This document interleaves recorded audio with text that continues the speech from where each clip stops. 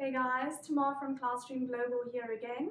Today I'd like to chat to you about some opportunities I have available uh, within one of the leading financial institutions based in Gauteng. I currently am looking for three experienced solutions architects um, that have a background in the financial sector or infrastructure-rich environments. Um, so if you have good experience in the banking industry um, and have the following requirements, please do get in touch.